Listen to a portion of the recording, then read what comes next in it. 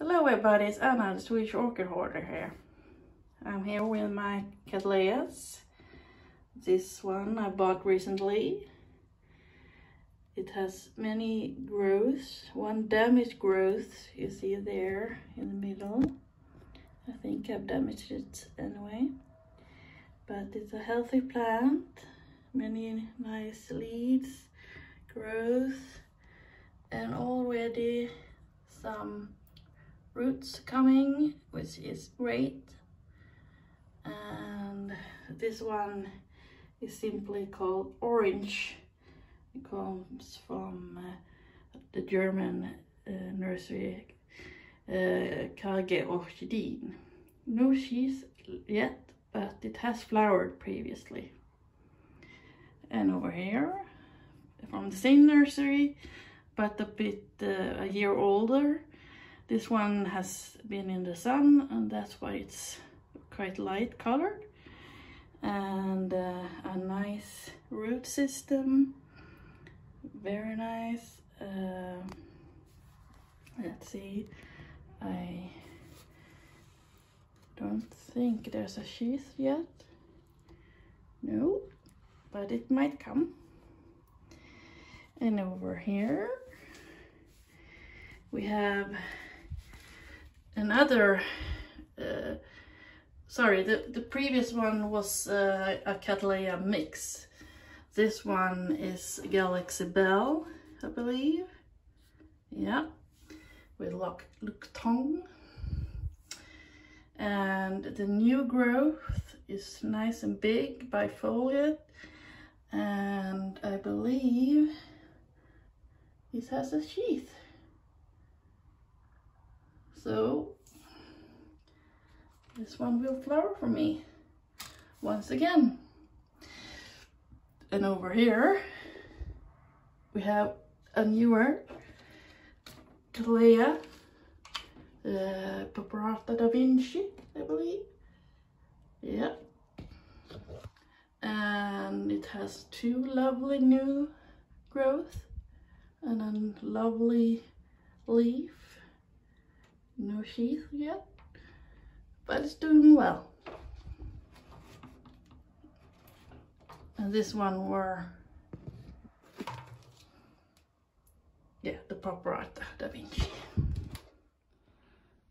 And over here at my Van der Veen window, we have a new no ID, which has a large amount of freckles uh, because of the sun. And there is a slight chance for she's down there. And if that is so, that is my first ever blooming on this one. Um, some of the roots, root tips dies off. I assume it's because it's too dry. Um, over here, oh, we have a back division of the Galaxy Bell doing a thing, not doing much now. And we have a Comfort Prince, LC Comfort Prince. And there already some roots coming.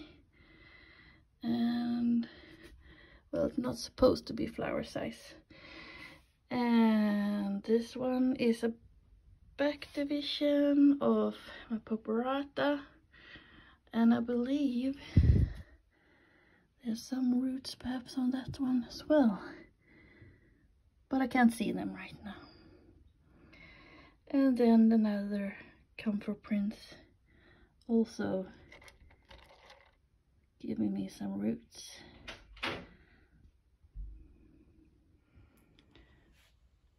One thing that I find frustrating with uh, Cattleyas uh, is uh, when you buy them and you uh, take them out of the old media and you rinse them off the old roots and you check so that the rest of the roots are okay and then you pot them. And then you perhaps wait a week or two. And I did so with the for example, these small, three small ones. And I unpotted them again. And the roots that were healthy, I thought, when I repotted them, they're all dead and wet. So I get a bit frustrated. Sometimes I'm thinking, okay, I buy a cattleya and I cut off every root and then I repot them and then I make them uh, uh, throw out new roots. What's the point in keeping any roots uh, when you just bought them?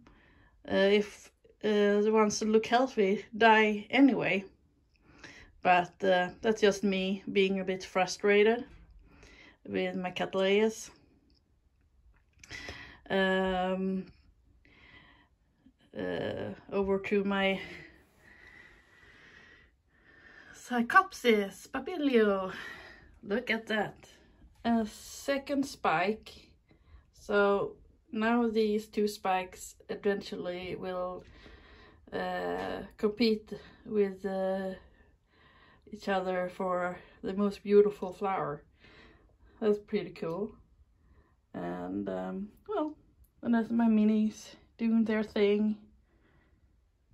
One is taking off or dying off two leaves there, but they're doing all right. There, and the little mini mark he is uh, happy and thriving with new root tips. So hopefully he will flower again, but with uh, more than three flowers this time. So I wish you a happy day and I hope to see you soon. Goodbye. Hej då.